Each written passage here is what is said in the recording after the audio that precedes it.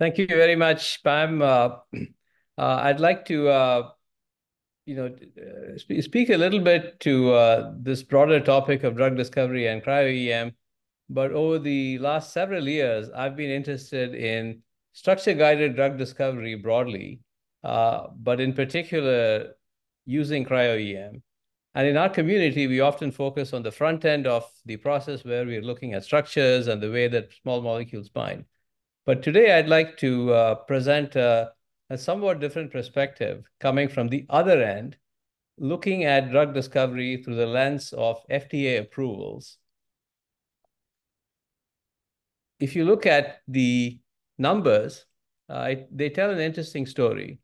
If you look at how many drugs were approved by FDA in 2023, it's 71 uh, new drugs that were approved, and that number is a bit higher than what it has been historically. But still, uh, given the scale of the enterprise, uh, worldwide enterprise in drug discovery, you might think that's not a lot.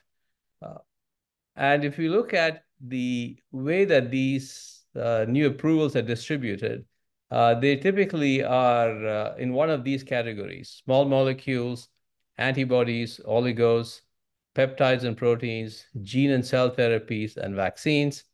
Uh, but by and large, the majority of them are in the top two categories, uh, with small molecules and antibodies making up about 70% of all the new approvals. Uh, we can dig a little bit deeper into this to see exactly how this how this basically bears out in terms of the number of drug approvals by modality and the indication. And if you look at the overall approvals in the last two years, uh, 22 and 2023, uh, there were 22 antibody therapeutics that were approved, uh, and 51 small molecule drugs. So small molecules do make up the majority of these approvals. And we can now look at what indications that these molecules are approved for. And if you look on the right-hand side, you see that oncology Uh, makes up about a quarter of all of these uh, indications, and it's the majority. The rest are distributed across the board with inflammatory diseases, hematology, infectious diseases, metabolic diseases. We've seen a lot of interest in that space lately, uh, neurology, and a variety of other indication spaces spanning ophthalmology, dermatology, and women's health. But certainly, oncology does remain the major area for new drug approvals. If we drill a little bit deeper into this, uh, we can look at how many small molecule drugs were approved in oncology in the last two years, and there are 13 of them. There were five in 2022, a bit more in 2023, but together, about 13. Out of these, there's one of these, uh, that's on the extreme right, that's uh, radiotherapy, but the rest are largely classical small molecules. These are those uh, designed for oral dosing. But it's actually interesting to look at the targets that these drugs are aimed at, and that's shown on this slide, where what what I'm presenting here is a full set of the targets that these 13 drugs uh, were directed against. And there's some interesting trends here. One of the one of them being that eight out of these 13 are kinase inhibitors, and only three are against new targets. And that's a surprisingly small number, but that is pretty much the way these approvals go. It takes a long time. And uh, the fact that uh, the vast majority are kinase inhibitors, which uh, is familiar territory, tells a story in its own right in terms of where the where the arrow uh, is pointed in terms of these new drug approvals. So what does all of this mean uh, for drug discovery that is guided by cryo-EM? And here are some thoughts. Uh, first of all, if you look at that chart, it's clear that there's limited diversity in the protein targets for which there are approved drugs. It's true that oncology remains the indication where the majority of small molecule drugs have been approved in recent years. But most of these new small molecule drug approvals in oncology are for kinases, many of which are tractable by X-ray crystallographic methods.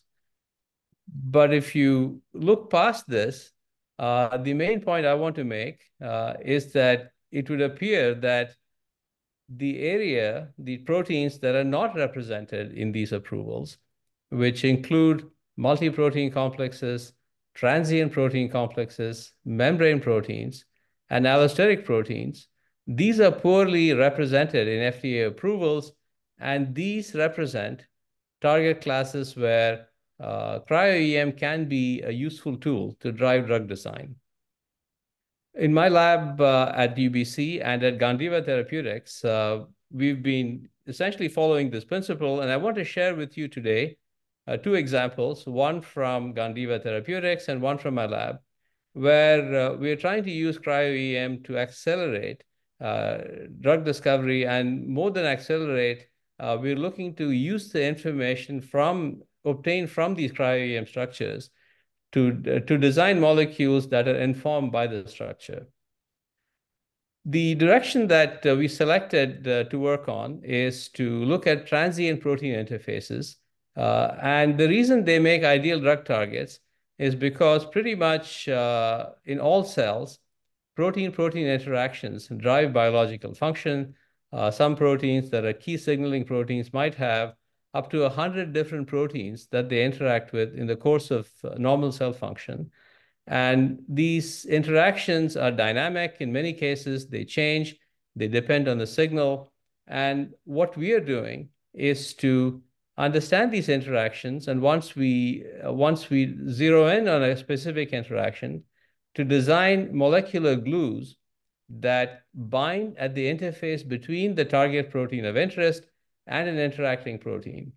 Uh, the, the way that I use the definition molecular glue here is, uh, is broad.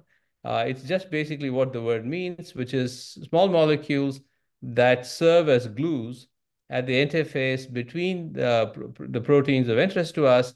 Uh, they can include dual inhibitor molecular glues that essentially inhibit both the proteins in the mix. They can be gain of function interfacial glues where these molecules essentially compensate for mutations at the interface, or they can include degrader interfacial glues, which is uh, very which is actually more uh, commonly the the uh, the way in which the the phrase is used, where the inter interface is between a target of interest and the substrate binding domain of an E3 ligase. But irrespective of it, uh, the idea of using glues is what drives uh, the programs uh, that we're working on. And in particular, we've selected to work on the MAP kinase pathway, uh, which is uh, rich in protein-protein interactions, is uh, at the core of signaling in, in our cells. And if you look on the left-hand side, there's a somewhat simplified view of how uh, we might we might have thought about the MAP kinase pathway in terms of a linear set of interactions, EGFR going to RAS, to RAF, to MEK, and to ERK. However, a more realistic view is that it's a very complex network of interactions with lots of feedback loops. And in particular, the central piece of this is uh, a pathway that is triggered by RAS, which involves a number of proteins, uh, many of which form transient complexes that are critical for signaling. So our focus on the MAP kinase pathway uh, is thus to select interactions that are important. And here's one example of an interaction that we have targeted, uh, where the problem we are trying to solve is that aberrant cell signaling is driven by mutations in proteins in the MAP kinase pathway. Uh, and what we do know is that nearly half of all the tumors uh, that, we, that are observed are tied to MAP kinase pathway activation. It's well known that there is drug resistance from virtually all these inhibitors, and the vast majority of them are inhibitors that target single proteins. Uh, the solution that we are pursuing is to design dual inhibitor molecular glues where we are looking to target two molecules or two proteins simultaneously uh, with the idea that this results in a lower likelihood of resistance because we are targeting an interface. Uh, it also uh, enables us to design inhibitors that are active against upstream mutants and those that are also synergistic with other pathway inhibitors. The, uh, progression to uh, getting a, a, lead molecule for this molecular glue was driven by cryo-EM, which we used uh, consistently through the process of going from a weak, uh, weak hit identified by virtual screening at 10 micromolar all the way to a 5 nanomolar lead in about nine months. Uh, what's important here is that uh, what you see here is the cumulative number of compounds synthesized is less than 200 over this period. And uh, we pretty much uh, did structures as needed along, along the way. And the fact that we could do these structures uh, and use that to drive medicinal chemistry was critical to converging rapidly to a lead compound. Uh, we went on to we went on to do, do a number of other studies, biochemical, biophysical studies, and of course, the whole point of designing these molecules is that they have in vivo activity and here are just some examples of how where we've shown in, uh, in, in, xenograft models uh, that this molecular glue uh, is a potent glue measured biochemically, but also uh, shows uh, shows efficacy in, in these models as and has potent anti-tumor activity. In the uh, process of designing all of this, one of the core uh, things that we have seen, not just in the program I've shown you, but in other uh, medicinal chemistry programs is is the uh, important finding that in these in the progression uh, from lower potency to higher potency, uh, we see a synergy uh, between uh, this the potency and the resolution that's observed. So the example that I'm showing you here, we are changing the moiety at the end from a hydrogen to an amide to a sulfonamide.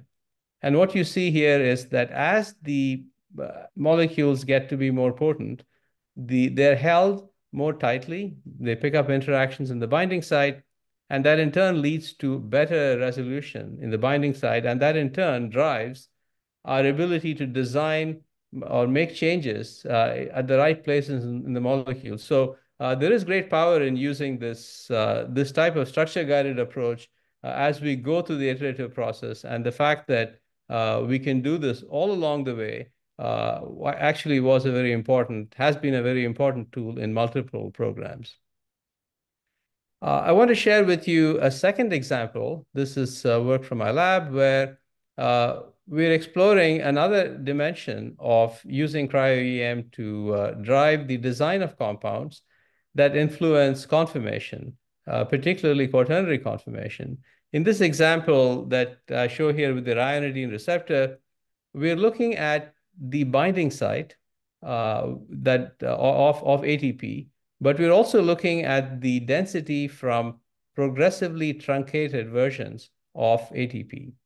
So if you go all the way down to adenine, that's on the uh, in the middle panel at the top, uh, you see that you can see density for it. And as we go, as we look at the, the densities for progressively larger molecules, they're all essentially roughly in the same, same pocket, but we can do more than merely measure the binding of the, these compounds. And what we can do is to correlate the size with the conformation, essentially as a scalar measurement. So what you see here is uh, a different way of showing the uh, structure where we're looking at the net changes along the, uh, along the chains uh, is essentially the deviation of C alpha atoms as a function of what's bound in the binding pocket. So this uh, is just an example of how uh, we can we, we can use in the des design process not just the location of the molecule, but simultaneously correlate uh, using numbers uh, the extent of the change and whether the change is modulated uh, by the addition of specific atoms in, in the ligand that binds it. Now, these examples I've shared with you, uh, especially in, in, our field, they often tend to concentrate at the front end of the process, where we're focused on generating lead molecules using cryo-EM, much in the way that X-ray crystallography was used uh, in the previous decades. Uh, we're essentially following the same principle, where the medicinal chemistry is uh, focused on using the information to get leads. But it's just the beginning of a long process. And uh, as we move into lead optimization, the need for structural information is progressively reduced.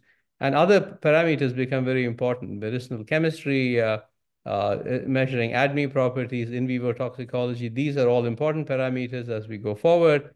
And once uh, it gets to the step of selecting a candidate, a number of other parameters come into play, such as the safety and the pharmacology.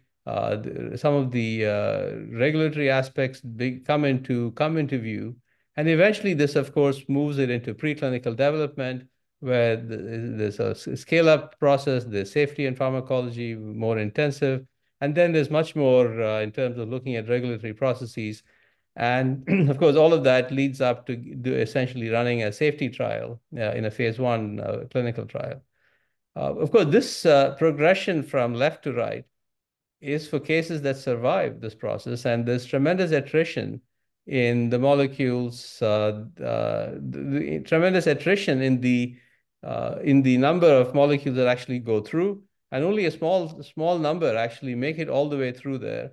And even then, uh, that's just the beginning of the process. Uh, an interesting way to look at uh, the overall landscape is to look at the time scale from discovery to approval. What you see on the x-axis is the length of time from filing of a patent, meaning that there's a novel, a novel composition that's been discovered.